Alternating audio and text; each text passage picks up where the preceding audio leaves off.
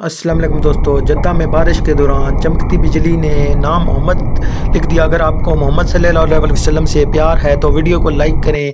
आज हम पाकिस्तान के लिए दुआ करते हैं। ए अल्लाह, जिस जिसने पाकिस्तान को लूटा, उसे तबाह बर्बाद कर दे। ए अल्लाह, जिसने पाकिस्तान को नुकसान पहुँचाया, उसे तबाह बर्बाद कर दे। ए अल्लाह, पाकिस्तान को तरक्की की राह पर कामजान कर। ए अल्लाह, पाकिस्तान को नेक वज़ी अजम दे। ए अल्लाह, पाकिस्तान को दुनिया का सुपर पावर मुल्क बना दे। ए अल्लाह, पाकिस्तानी, कभी भी किसी का मोहताज ना हो। आजकल पाकिस्तान के हालात बहुत ज़्यादा ख़राब हैं।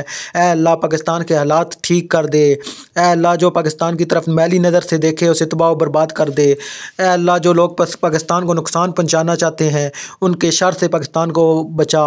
ए अल्लाह, पाकिस्तान को जिस जिसने नुकसान पहुँचाया है, या पहुँचाने की कोशिश कर रहा है, या पाकिस्तान का पैसा जिसके पास है, उसके नाक मुँह से उसे जलील व ख्वार कर। ए अल्लाह, पाकिस्तान के हालात बहुत ख़राब हैं। हैं। अल्लाह तू ही हमारा मददगार है। पाकिस्तान डिफ़ाल्ट की तरफ़ जा रहा है। अल्लाह हमारी मदद कर। अल्लाह हमारे गुनाह माफ़ कर अगर हमने कोई गुनाह कर दिए। अल्लाह हमें नमाज़ की तोफ़ी अता फरमा। अल्लाह जो लोग नमाज़ नहीं पढ़ते उन्हें नमाजी बना पाँच वक्त का। अल्लाह तमाम लोगों को हलाल रिज़्क अता फरमा। तो आमीन बोले और कमेंट में भी आमीन लिखें।